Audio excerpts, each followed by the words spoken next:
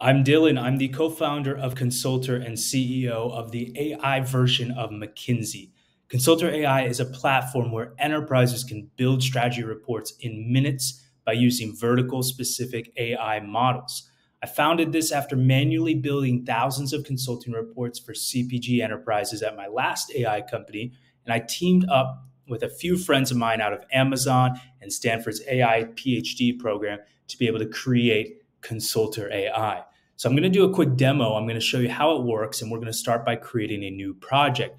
Here we are working with John. John is trained around sustainability and digital transformation strategy for telecom companies. So we want to eventually automate and disrupt broader management consulting, but we are starting niche and narrow in order to find product market fit with focus. So what we're doing here is John first starts with a discovery question. What kind of problems can I help you with? Now, imagine that's a meeting with three or four different analysts from a big consultancy. And the end of the day, after getting that meeting on the books, running through that meeting with them, this is the question that they take away the answer for. You know, there's a lot more that goes in there, but that is the ultimate question. That is the key thing they are looking for. So here I can just save all that time and I can say, hey, John, can you help me with my sustainability strategy? I am having trouble with prioritizing the top initiatives. Okay. So now John's going to take a minute and our agent is going to look through the different use cases that it offers, right? Like digital transformation for telco or sustainability strategy. And I'm going to use this time while it's loading to tell you that John takes data from case studies, thought leadership, financial reports, news and social media, sustainability governance reports, regulations, review websites, and more. And here you can see, based on his database, he can create objectives for your report. So, understanding, okay, you want a sustainability strategy report, but what is going to be behind that? Because that's a broad claim. You want help with prioritizing critical initiatives. Do you want help to implement or monitor those initiatives, like resource allocation, how effective they are?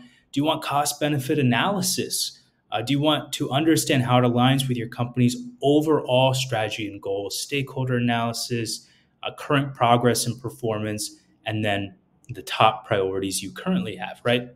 So, what John does here is he says, You need help with sustainability strategy. I can do that. Just tell me more specifically. So, I'm just going to confirm these. If I wanted to change them, I could. And John tells me, You know, I'm going to make you a PowerPoint deck or an Excel deck right? Is that okay? Yeah, that works for me. Okay.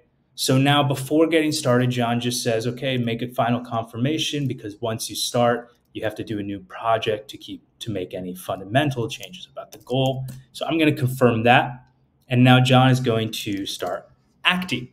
John takes each objective, makes a list of different action steps in order to solve that. Imagine the team of consultants that are pulling data, they're extracting it, they're processing it and cleaning it, right? That's a whole big chunk of work. John's already done that. And now John focuses on that next step, which is, you know, using RAG models to be able to understand in our data set what pieces of the data are most relevant to these different objectives, turning and transforming that data with our fine-tuned models into different PowerPoint slides, for example.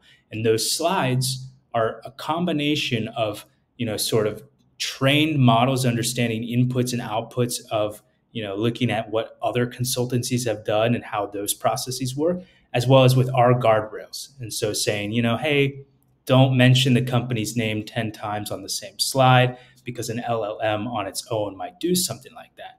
And boom here we go. We have that presentation that would typically take three to six months of work just to build. And if i pull up that presentation actually see the report that has just been auto generated. So when a company signs up, we do tune it to the company's brand so that their logo can be displayed, but that's really just, you know, an upload image file kind of thing and then the model is able to understand when we type AT&T that when it's analyzing the telecom data out there to just focus on AT&T as that baseline.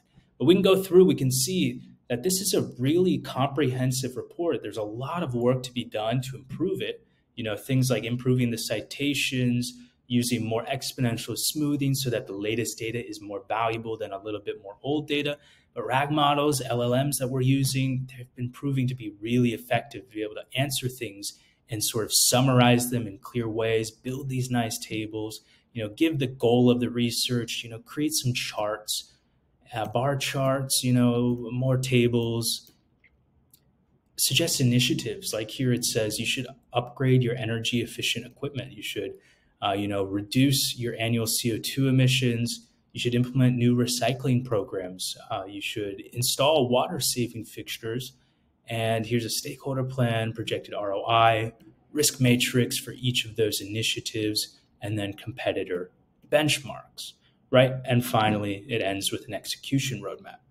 But the question at the end of the day comes to us, which is have we proven that large language models with RAG fine tuning in our architecture, have we proven that those have the potential to disrupt a $350 billion management consulting industry? We feel really confident we have. We're really excited about what's to come in the future. We have really cool things in our roadmap, like adding new charts, improving the AI agent to stream and show the execution in real time, and you know adding more and more data sources and integrations so that the insights that are generated in our report are far more valuable than they are today. This is what we've done in seven months of work. Imagine what it'll look like in three four five years. Thanks for watching. Happy to talk